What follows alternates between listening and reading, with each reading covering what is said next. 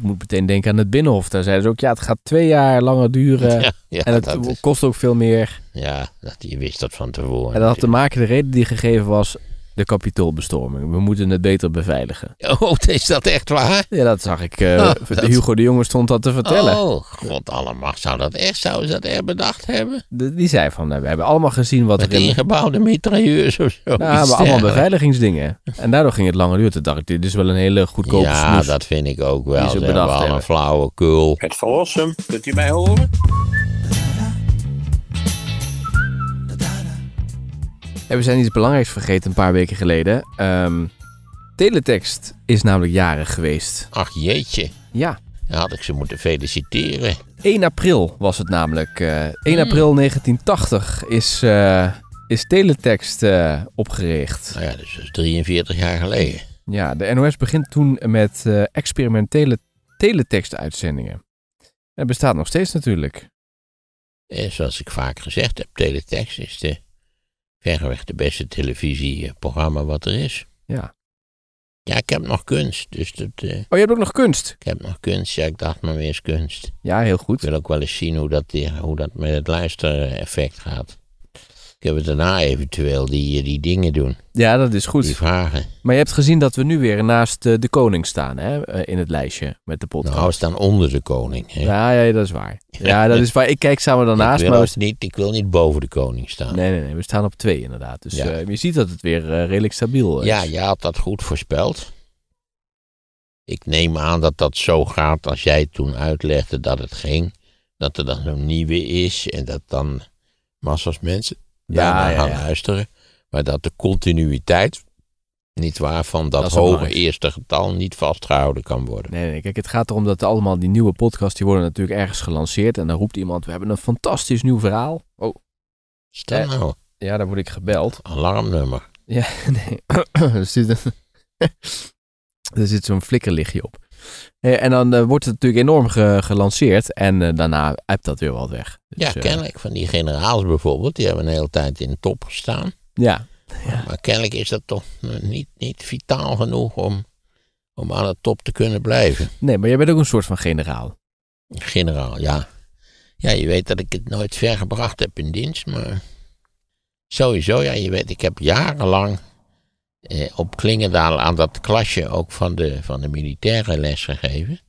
En, in het begin dacht ik, dat zijn natuurlijk allemaal van die aardsconservatieve houtdegens. Niet waar, met, met reactionaire opvattingen, maar dat bleek totaal niet het geval te zijn. Bleken allemaal keurige academisch opgeleide heren te zijn. Vaak met veel vooruitstrevende opvattingen dan ik zelf had. Zoals ten tijde van de Falklandoorlogen. En ik was toen van flink sla erop, die klote Argentijnen. Hè? Maar zij waren tal van die, van die militairen die zeiden, nou ja, is dat nou de moeite waard? Eh, moeten we dat wel doen? Nou ja, enzovoort, enzovoort. Nou ja, Thatcher heeft het gedaan en dankt haar politieke redding eigenlijk aan dat feit. Maar daar moeten we het nu niet verder over hebben. Maar nog even heel, wat ging je daar dan vertellen bij die militairen? Eh, geschiedenis. Het was ook wel interessant dat heel lang, heel lang geleden nog daar, nog voor deze. Ik heb het 17 jaar gedaan in mijn herinnering. En ik begon in 1870 oorspronkelijk. Nou, vond ik hartstikke leuk. Want je veel ontwikkelingen. Hè, met name natuurlijk de eenwording van Duitsland. Dat is in begin 71, 1871. Maar ik, ik verloor geleidelijk aan terrein.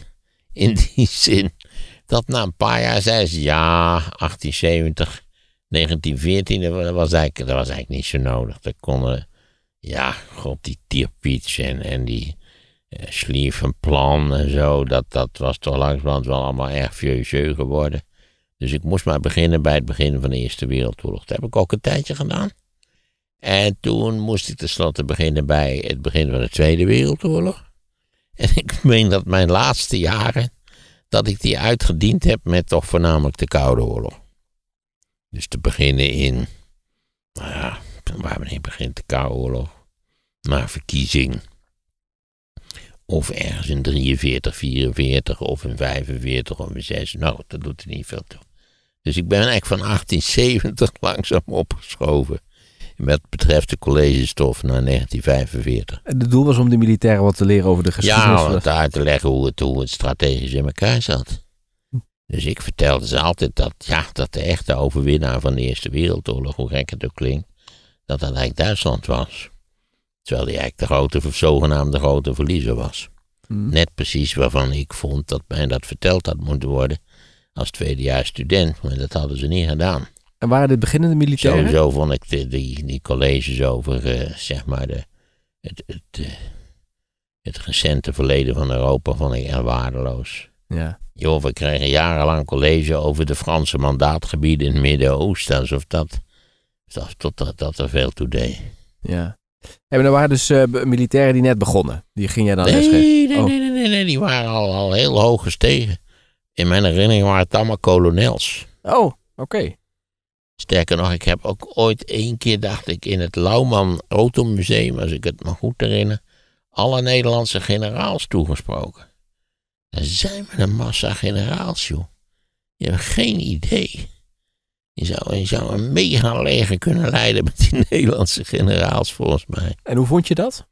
Nou, ook wel amusant. Ik ben al lang totaal vergeten wat het over ging, dus. Ze waren niet vervelend. Absoluut niet.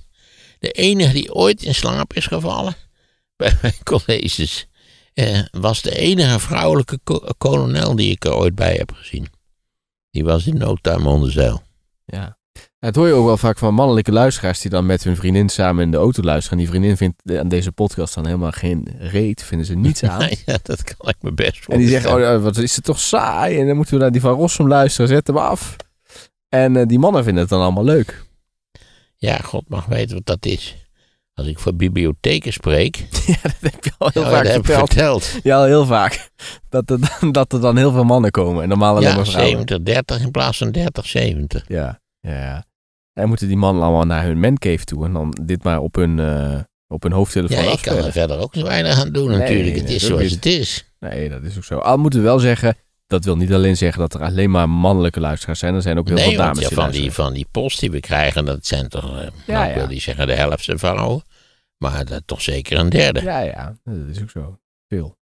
Nou, dan gaan we, gaan we weer even een zetje schap eh, als luisteraar, want er komt weer wat kunst aan. We gaan kunst doen en ik ga deze keer twee schilderijen bespreken. En trouwens, voordat je begint, had je nog gehoord dat iemand had geschreven, de podcast is helemaal niet geschikt voor kunst. Want je kunt niks zien. Nou, dat is een scherpe analyse. Ik sta daar volledig achter natuurlijk. Eh, er zijn betere media dan een podcast als deze om over kunst te praten. Maar ik kan u wel attenderen op kunst. En dat is het aardige van het moderne digitale netwerk. Dat u kunt met een enkel drukje op de knop, mits u normaal foutloos Nederlands eh, kunt schrijven, kunt u zo naar de besproken schilderijen toe. En daar heeft u bovendien eh, ik geloof ook in ieder geval bij de helft van de nu te bespreken schilderijen dat fantastische Google-systeem, waarbij die schilderijen in echt extreem detail gefotografeerd zijn. Ja, dat je al elk detail kunt zien, ja. Precies. Dus dat, dat, het, het, het is natuurlijk een lollig bezwaar om te zeggen, ja, je hebt er geen plaatjes bij. Dat is wel waar, maar dat is natuurlijk een beetje flauwekul. Sterker nog, u kunt in het verhaal wat ik nu ga houden, kunt u dadelijk, ik ga even onthullen welke schilderijen het zijn. En dan kunt u al meteen op het laptopje of op de telefoon even, ja, de telefoon, dat zijn wel hele kleine persplaatjes natuurlijk. Ik ben ook helemaal geen voorstander van lezen op de telefoon. En ik, ik zag ook in de trein en in het hotel allerlei mensen naar, naar Hollywoodfilms kijken op de telefoon. Nou, daar heb ik echt niks mee. Dat is werkelijk, dan moet je, ik weet niet.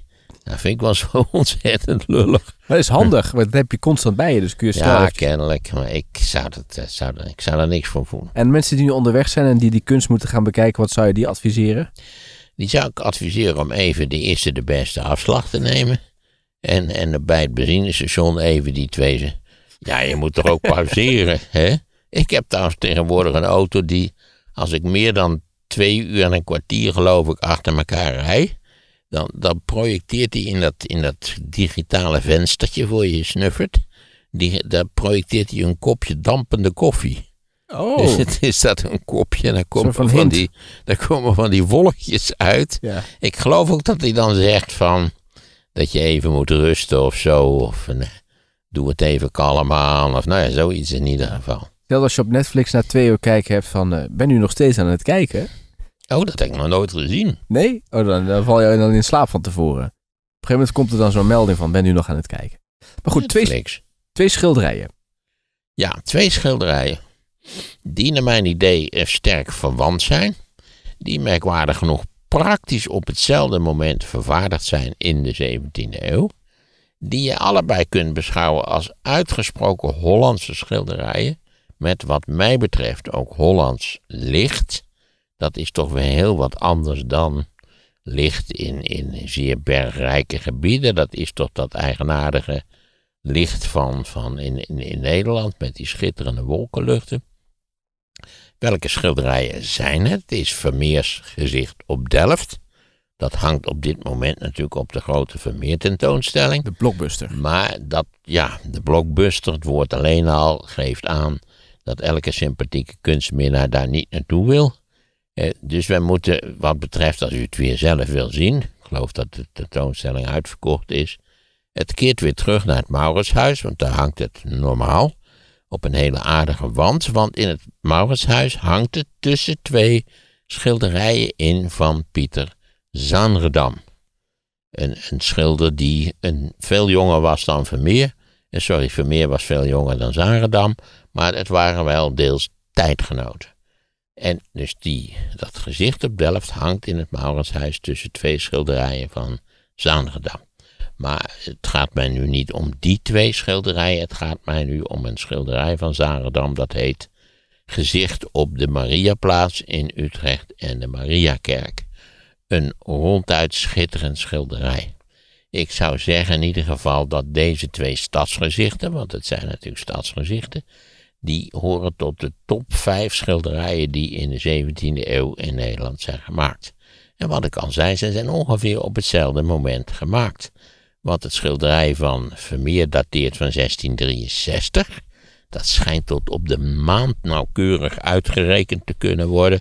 Die maand heb ik er nou bij vergeten, maar goed. En het schilderij van Zaredam is van. eh, Nee, sorry, Zaredam is van 1663. En Vermeer is van 1660, 1661, als ik het wel heb. Het doet er nou niet zoveel toe. Het kan zijn dat ik deze twee jaartallen nu gehusseld heb. Maar je begrijpt, het is allebei zijn de schilderijen van de vroege jaren 60 in de 17e eeuw. En het zijn, het zijn vooral schilderijen die de ziel kalmeren. Het zijn kalmerende schilderijen. Het zijn schilderijen met een, met een, met een schitterend, kalm licht. Ik zou zeggen ochtendlicht, maar dat is misschien een beetje fantasie mijnerzijds. Ik zou zeggen, zeker in het geval van Zaredam, is het, is het een soort, is het een stille, maar zonnige zondagochtend. Zoiets, zoiets moet, het, moet het zijn. Ehm, Dus geen saaie schilderijen. nou, dat hangt er vanaf als je, als je niet in, in, als je, als je dol bent op, eh, weet ik veel, zo'n zo'n reusachtig ding van Rubens, zo'n kruisafname of zo, dan eh, zijn dit wel vrij saaie schilderijen. Maar het zijn, veel, het zijn schitterende schilderijen, juist in hun, in hun rust, in de rust die ze uitstralen. Overigens het schilderij van, eh, van dat kan bekeken worden in Museum Boijmans. Daar zal de deskundige direct opmerken dat dat dicht is, dat klopt.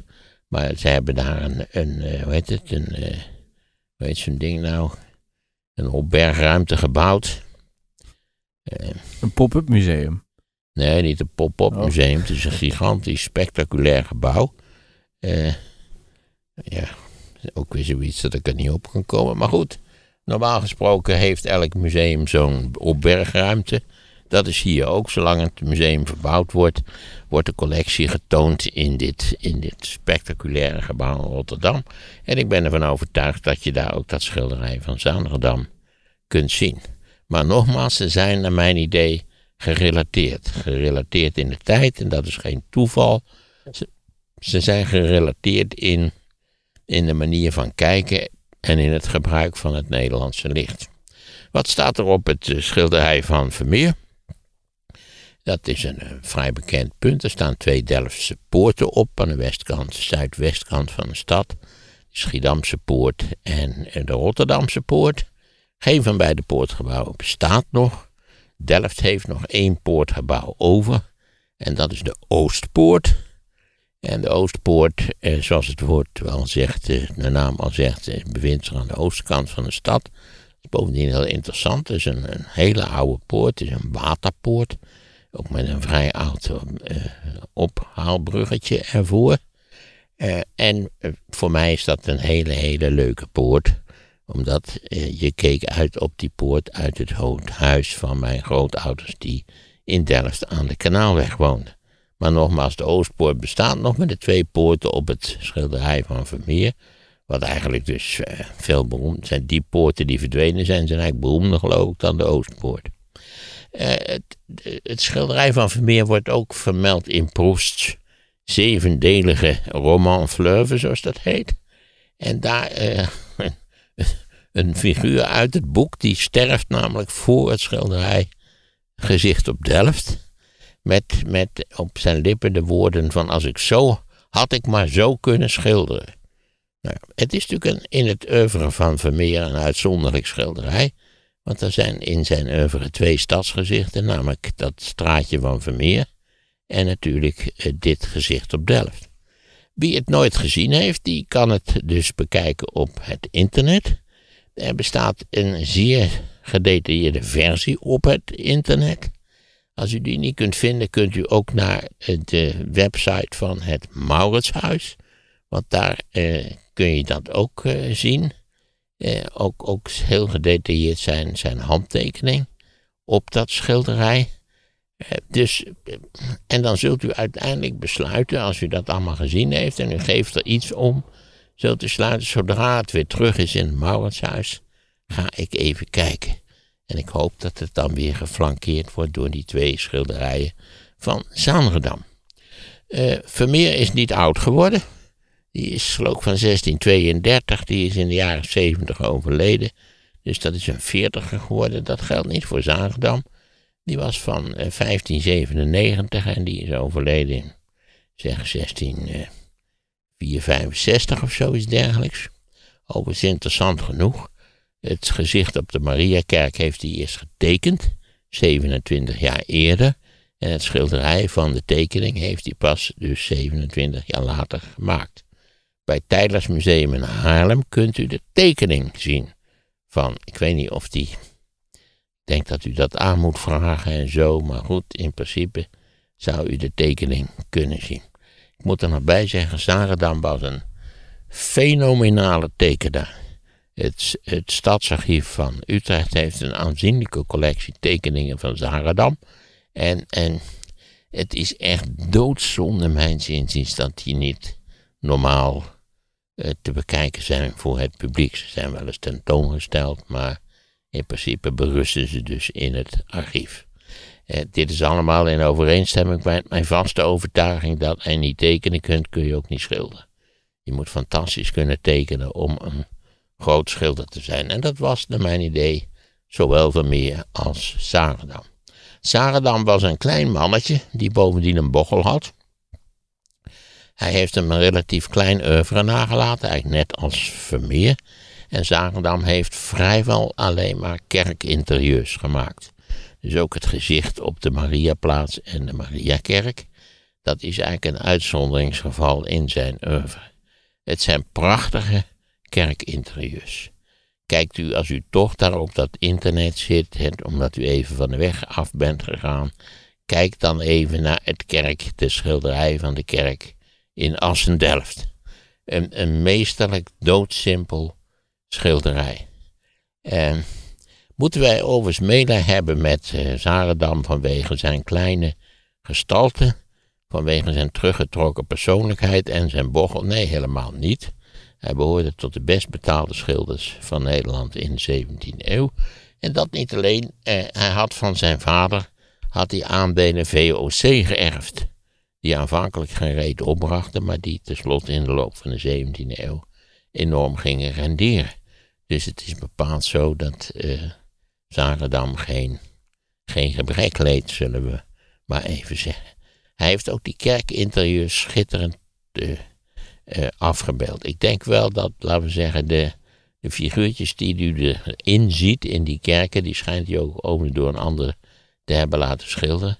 Die zijn naar verhouding wel iets te klein, waardoor die kerken wel een, een magistrale indruk maken op, op die schilderijen. Eigenlijk is al dat werk van, van is de, is de moeite waard. Je hebt bij Zaredam ook, als je, als je door zo'n museum loopt en waar je dan allemaal van die, van die geweldige tafereelen ziet, wat ik al zei, kruisafnames, voetwassingen, nou ja goed, de bekende bijbelse tafereelen. Vanzelfsprekend Maria met het kind en zo, de kruisiging zelf. En dan kom je zo'n, zo'n, dan kom je tegen en dan denk je, ach jee, wat is die Hollandse schilderkunst. Hè? Ja, Rubens was in zekere zin ook Hollandse schilderkunst. Maar wat is dit toch fijn, dit, dit, dit bescheidene, schijnbaar kale, maar immens overtuigende manier van, van schilderen. Het is eigenlijk hetzelfde effect. Ik had het nu in, in, in Wenen, had ik het ook weer. Je dwaalt dus door die zalen met Van Dijk en Rubens. En exuberantie, veren, pluimen. Rembrandt had er natuurlijk ook wel een beetje een handje van, van die poppenkast. Maar, en dan kom je een hoek om. En, en daar hangt dan zo'n, zo'n, eh, kom op, zo'n, zo'n, zo'n ijsgezicht van. Is werk mijn geheugen, is, is in toenemende mate een zeef. Eh, de Dove van Kampen. De. Ik kom er zo op. Ik moet even nadenken. Kun je dit stukje er later uitknippen? Althans, de stilte kun je die eruit knippen. Ja, we kunnen er alles uitknippen. Kun je, je kunt er alles uitknippen. Ik kan het ook even googlen, dan weet je het meteen. De Dove van Kamp, als we dat intikken, dan eh, vinden Weet we je wel wat. meteen welke schilder het is, Ja. ja. De Dove van Kampen. We gaan het dus eventjes doen. Ik vind het verschrikkelijk dat ik voortdurend deze in laatst was het Draghi, weet je nog? Ja, maar die weet Ja, je nu wel. Ja, Ja, nu weet ik het wel natuurlijk. ja maar je kunt toch niet... Dit is toch, eh, de stomme van Kampen kom ik wel tegen. Ja, de stomme van Kampen, zeg het maar. Even kijken. De stomme van Kampen is eh, de Dove Hendrik Averkamp. Averkamp, wat verschrikkelijk dat ik het niet wist. Sorry, Averkamp, daar in de hemel, dat ik het niet wist. Je kunt toch niet alles weten, Maarten? Je kunt niet nee, alles onthouden. ik- dat, dat zijn toch van die raar. Want je weet dat je het weet. En ik kwam ook in Wenen weer zo'n hoek om. Wat ik al zei, naar zo'n zaal van die immense schilderijen, nietwaar? Met, met idioot gespierde mannen en, en speren en, en, van allerlei poppenkast. Dat je denkt, kom op jongens. Ik begrijp wel waarom, de opdrachtgevers, zoals mijn zuster altijd zei. En ik kom in zo'n hoek om en dan hangt daar zo'n haverkamp. Een piepklein ding. Hè? Ja, het heeft geen zin dat ik het aangeef met mijn handen hoe groot het is. En dat is dan zo'n, hoe gek het ook klinkt, het zijn al die gespierde mannen met die veren en die speren en zo. Maar Averkamp is de openbaring. Ah, dat is zo'n simpel ijsgezichtje. Dat is, dat is, nou ja, maar nu terug naar Zagendam. Het gaat dus om twee schilderijen die naar mijn idee dezelfde sfeer ademen in feite hetzelfde licht tot op zekere hoogte vertonen. Dat hadden ze in Mauritshuis heel scherp gezien, want er hangt dus het gezicht op Delft tussen twee schilderijen van Zaanderdam. Bekijk beide schilderijen voor mijn genoegen en u ziet wat een superieure schilderkunst in de 17e eeuw in de Nederlandse Republiek mogelijk was. Want ik ben geneigd om te zeggen, misschien klinkt het toch een beetje arrogant. Nergens in Europa had in de, in, hadden in de jaren 60 van de 17e eeuw deze twee schilderijen gemaakt kunnen worden. Behalve dan in de Nederlandse Republiek door Nederlandse schilders.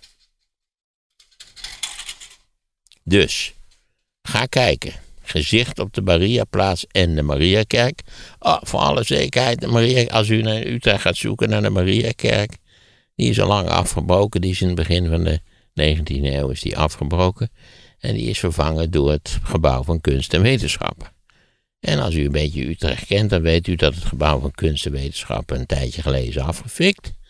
En toen hoopte ik zo, terwijl ik helemaal niet katholiek ben, geen bal geloof, 0,0. Toen hoopte ik zo dat ze de Mariakerk zouden herbouwen. op die plek. Het is een prachtige kerk. Alleen die kloostergang staat er natuurlijk nog van die kerk. Hebben ze een nieuw eh, gebouw van kunst en wetenschappen gebouwd. Een gemiste kans. Ik heb geen andere woorden. Een gemiste kans. Maar het zijn twee schitterende, typisch Nederlandse schilderijen. En als ik jou mag geloven, dus ook een van de betere. Dit, dit, eh, beide schilderijen horen wat mij betreft tot de top 5 Nederlandse schilderijen van de 17e eeuw. Nu eh, weet ik zeker dat we een brief krijgen. Wat zijn die andere drie dan? maar daar moet ik dan nog eens even over nadenken. Nou, ik weet, ik weet er wel wat paar. Ik weet, ik weet ook nog een paar hele gekke schilderijen uit Wenen. Die zal ik ook doen. Ik hoorde laatst van iemand die vertelde hoe die schilderijen, als ze dus naar zo'n uh, Vermeer eh, tentoonstelling gaan, hoe die dan uh, vervoerd worden in zo'n grote kist. Ja, joh, en de verzekeringen, dat is een enorme kwestie. Ik vind dat hele gesleept. Dit zijn hele kwetsbare. En, en kijk, bij Monet, Monet 4000 schilderijen nagelaten, maar Vermeer heeft er ook 41 of 42 nagelaten. Trouwens ook Zaredam maar een stuk of 40. Ja, overigens doet het er eigenlijk niks toe hoeveel je, hoeveel je nalaat. Je hoeft, natuurlijk maar, er maar een paar meesterwerken te maken en dan, dat is het eigenlijk al. Dan heb je je, taak als mens hier op het ondermaanse toch, uh, naar mijn idee, voltooid. Maar goed, kijk ernaar. En als je dan toch lekker bezig bent, uh, ook nog maar even naar die ijsgezichten. En die kist die wordt ook maar één keer gebruikt, begreep ik, hè? Als ze dan weer terug moeten, komt weer een nieuwe kist. Het zou best kunnen. Het is, het is, ik heb altijd het gevoel, het is de meerdere eer en glorie van een museumdirecteur. En het biedt hem natuurlijk de mogelijkheden om later tegen die andere musea te zeggen, joh, we hebben jullie die Vermeers uitgeleend. Uh, en, en nu moeten jullie ze zo uitlenen. Het is een soort, soort ruilhandel, zal ik maar zeggen. Maar ik vind het zelf het is veel interessanter om één of twee Vermeers te zien. te midden van, van twee, drie, vier, vijf zalen met Nederlandse 17e-eeuwse schilderkunst. dan dat je al die Vermeers bij elkaar ziet. Het is veel leuker om dat te vergelijken met. Ja, het is nog, dat is nog een puntje wat ik misschien vergat. Zeker bij, eh, niet, niet bij het gezicht op de Mariaplaats en de Mariakerk. Maar zeker bij het gezicht op Delft is het vermoeden dat er een camera obscura gebruikt is. Hè? Dus een, een toestel met een lens wat, wat de, de, het afgebeelde, omgekeerd als ik het wel heb, op een matglazen plaat projecteert. Waar David Hockney volgens mij een heel boek over geschreven heeft.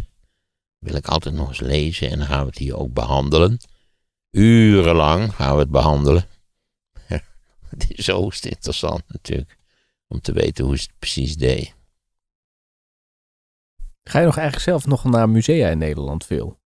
Je hebt natuurlijk die museumjaarkaart. Die hebben ze speciaal voor jou hebben ze die weer uh, betaalbaar gemaakt. Ja, als het even kan, ga ik naar musea. Ja, ik ben nog steeds van plan om naar de tentoonstelling van Jan Vet in Dordrecht te gaan. Zul je zeggen, ja, dat is weer zo één een tentoonstelling over één enkele tekenaar schilderen. Maar het, het is ook heel stil ingetogen werk in allerlei opzichten. Maar ik ben wel eigenlijk van plan als het even kan om daarheen te gaan. Moni loopt het nog maanden. Dus ja, Jan Vet in Dordrecht. Dordrecht is sowieso een buitengewoon aardig museum. Waar ze een heel goed, vind ik, tentoonstellingsbeleid hebben. Misschien ook voor, voor mensen die ook een beetje zakelijk georiënteerd zijn. Eh, eh, u weet dat, dat bij een verbouwing van een museum in Nederland in principe duurt het twee keer zo lang als het van van tevoren is aangekondigd.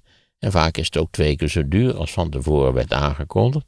En de hele verbouwing van het Dordrecht Museum was precies op tijd klaar voor precies het geld wat ervoor uitgetrokken was. Dus het kan wel. Ja, je ziet, het kan. Het kan.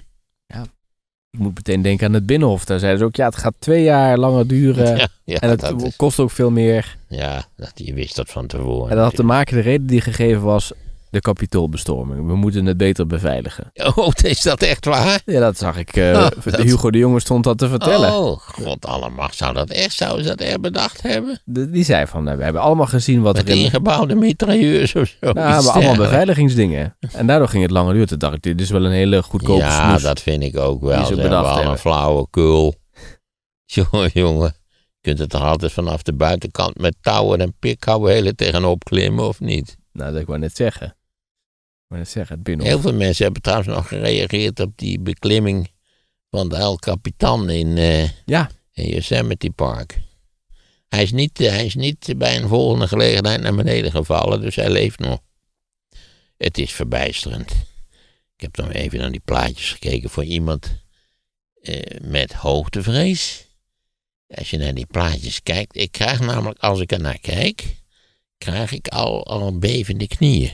Terwijl je geen hoogtevrees hebt van Nee. natuurlijk. Nee. En terwijl ik dus niet waar, hij trekt zich op met zijn, hij oefent uren per dag met magnesiumpoeder op zijn vingers om, om zijn hele gewicht simpelweg omhoog te kunnen trekken.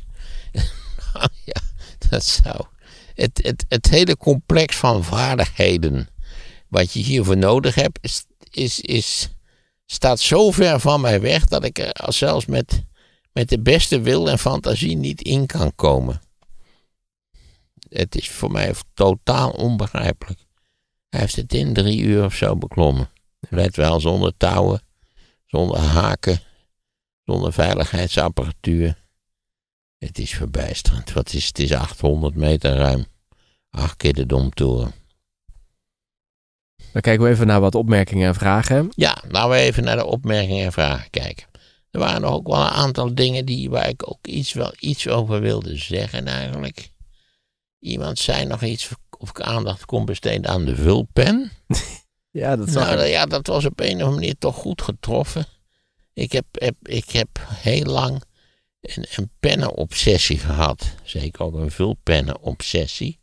Ik heb heel lang met een vulpen geschreven, echt tot het begin van deze eeuw. Toen heb ik een tijdje nog met, met zo'n, met zo'n, eh, hoe heet het, met zo'n, zo'n, zo'n, zo'n kwalitatief hoogwaardige ballpoint geschreven. En toen ben ik gaan typen. Want ik schreef namelijk mijn stukken eerst allemaal op en dan typte ik ze over. Maar ja, eh, als je meer, meer moet produceren, dan is dat al gauw een heel omslachtige weg om een stuk, om een stuk te schrijven natuurlijk. Ik schrijf tegenwoordig met van die fineliners van een halve millimeter. En daar ben ik heel gauw leeg, maar daar ben ik wel heel tevreden mee. En de vulpen die je had, moest je echt met, in zo'n potje inkt of zat de vulling Nou ja, in de pen? het is, het is wel een interessant verhaal, vooral omdat ik er zelf een hele goede indruk in maak. Ik had mijn eerste vulpen cadeau gekregen van de firma Talens, omdat de beste leerling van de school, of de ene na beste leerling, ik weet niet precies hoe het zat, die kreeg een Talens vulpen cadeau. En, en bij de, je had dan zo'n afscheidsbijeenkomst van de eerste klas, van de middelbare school. Ik weet nog als de dag van gisteren. Ik was al een vrij lullig jongetje. Het was in Wageningen, in zo'n gebouw wat ook ondertussen alweer is afgebroken. En, en samen met mijn latere vriend, die ik toen nog niet kende, Frank van Wijk, hadden wij, eh, eh, waren wij de beste leerlingen in de eerste klas van die school. En we moesten naar voren lopen. Ik vond het dood en dood eng. Je had alle ogen op je gericht. Tegenwoordig heb ik er niet zoveel moeite mee, maar toen vond ik dat dood en dood eng. En zo kwam ik aan mijn eerste vulpen, met, waarmee ik de hele middelbare school geschreven heb. En toen was, toen was die versleten, ze verslijten toch. En toen was, ik heb altijd last gehad met, met mijn tweede vulpen, zou ik maar zeggen. Het is nooit geworden in mijn handen wat het had moeten zijn. Maar als een vulpen het goed doet, als de pen lekker over het papier loopt, je moet ook wel behoorlijk papier gebruiken en niet pruts papier, dan is het wel een enorm fijn gevoel. Het schrijft lekker, hè? Het schrijft lekker. Ik schrijf nog steeds veel liever met de hand dan dat ik typ. Dan zie je die inkt zo opdrogen. Ja, het is, eh, ik vind ook als je dan een hele pagina vol hebt geschreven, dan denk je, ah, het is eigenlijk een kunstwerk. Denk ik dan. Nou ja, goed. Die stijgt misschien niet, maar ja, ik vind met de hand schrijven vind ik heel fijn werk. En ik, doe, ik schrijf natuurlijk nog heel veel met de hand, omdat ik al mijn uittreksels en zo, die schrijf ik met de hand. Die typ ik niet. Doe je dat, Niet, niet nodig om ze te typen. en doe je dat dan vaak als je een lezing in het land hebt? Schrijf je dan een A4'tje vol waar je het over gaat hebben? Nee, dat doe ik nooit. Die lezingen, dat is allemaal uit de losse pols. Maar als ik een artikel ga schrijven, of als ik boeken lees om een artikel te gaan schrijven, Daar maak ik wel uittreksels, ja. En, ook wel- en notities. Je hebt mij ook wel eens een keer een papiertje laten zien in de binnenzak van jouw jas die je nu aan hebt. Van kijk, dit heb, wat ik net verteld heb, staat hierop. Ja, dat kan, dat kan heel goed, ja. Ik weet niet, dan moet het een onderwerp zijn geweest waar ik niet geweldig in zat. Ik zou maar zeggen, ik ga morgen naar Almelo, geloof Of was het nou Zwolle? Nee, sorry. Sorry Zwolle. Het is Zwolle. Ja, dan doe ik iets. Ik denk, vorige keer heb ik iets over de, eh, de vijfde Messias gedaan. Dus ik denk dat ik nu in Zwolle iets over Poetin ga doen. En vind je het niet bezwaarlijk dan dat, eh, dat je dus eigenlijk niks voorbereidt voor eh, als je daar naartoe gaat? Want die mensen die denken natuurlijk die jou, die jou vragen. Nou, die Maarten zit zich weken voor te bereiden. Ik weet niet, zou ze dat denken? Nou, maar in ieder geval wel iets van voorbereiding, maar je doet helemaal niks. Nee. Nee, ik heb me heel lang voorbereid. Maar ja, dat geleidelijk aan werd het minder en minder en minder. Het zit in je hoofd. Ja. Het is niet zo dat je er niks aan doet. Het zit in je hoofd. En, en, en, en in je, je hebt erover nagedacht. Ik heb je daarnet een heel verhaal verteld over waarom ik vond dat eh, Macron eh, eigenlijk in de basis gelijk had. Nou ja, zoiets ga ik morgen ook vertellen. En daar kun je van alles van maken. Daar kun je een uitstapje maken enzovoort. Maar ja, ik, ik heb eigenlijk nooit. Ik heb nooit gedacht dat het publiek vermoedt dat ik er weken aan heb zitten tobben. Nee, dat denk ik ook niet. Eh, Dat er, dat er diverse ernstige, ernstige eh, echtelijke ruzies aan vooraf zijn gegaan. Nee, absoluut niet. Wat ik al zeg, ik ben in de loop der jaren steeds minder en minder en minder gaan voorbereiden. Hm. Ja. En er is ook heel veel te doen om eh, China en afluisteren en gevaar en nou, noem maar op. Jij bent er heel duidelijk in. Je hebt eerder gezegd van de Verenigde Staten doen het al jaren, dus we hoeven er niet bang voor te zijn. Die aflevering hebben we nog een keertje in de beschrijving bij deze podcast gezet. Dus als je er geen genoeg van krijgt, luister die dan vooral. Absoluut de moeite waard. En volg ons in je podcast app, want eh, dan mis je sowieso helemaal niks. Avenkamp, wat verschrikkelijk dat ik het niet wist. Sorry, Avenkamp, daar in de hemel. Ik heb laatst gelezen wat, wat de Apple eraan verdient en wat de Chinezen eraan verdienen. En dan moet je toch ook als Chinees denken, we doen iets fout. Dit moet op korte termijn moet dit veranderd worden, want dit is een hele onrechtvaardige zaak. En dat is het ook in allerlei opzichten. Maarten over de geschiedenis van China. Wat zich voltrekt in China en India en andere Aziatische landen is niet meer dan een onderdeel van datzelfde enorme proces wat ooit begonnen is tussen 1690 en 1750. Download het luisterboek via de link in de show notes. En eerder deze week hebben we het in deze podcast ook gehad over de komst van Macron naar Nederland. Tijdens dat staatsbezoek werd onder andere gesproken over kwantumtechnologie.